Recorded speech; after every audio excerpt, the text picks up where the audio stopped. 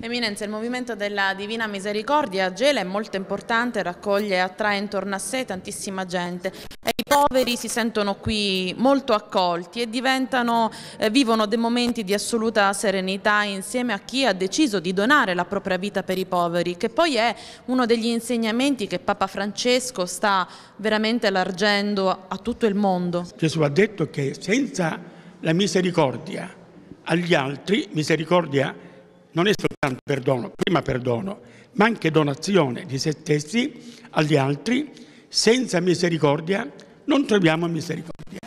Papa Francesco sostanzialmente traduce quelle bellissime parole che i giovani e più piccoli non hanno bisogno solo di parole ma anche di buoni esempi. Esatto, esatto, ma questo è fondamentale.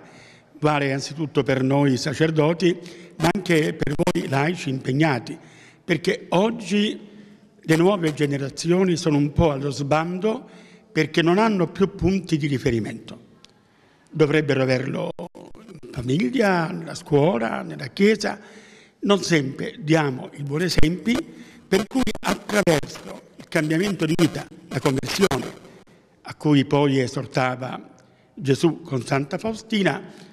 può cambiare il nostro cuore. E quando cambia il nostro cuore, cambia anche il cuore della storia e del mondo. C'è stata questa grande manifestazione di fede, di gioia legata alla Divina Misericordia con la partecipazione di tanti gruppi e movimenti e così anche fedeli laici che sono venuti a Gela per celebrare il sesto congresso della Divina Misericordia promosso dal Pontificio Consiglio per la promozione della nuova evangelizzazione. È stato veramente un momento di grande gioia, abbiamo visto tanti giovani, tante persone anche lontane che per la, forse ecco, per la prima volta hanno ascoltato questo annuncio della misericordia. Veramente è stato un momento di grazia da parte del Signore anche perché confermata la presenza di Sua Eminenza dal nostro Vescovo, Monsignor Rosario, così anche ecco, la benedizione che il Santo Padre eh, attraverso ecco, la, la, persona ecco, del nostro amato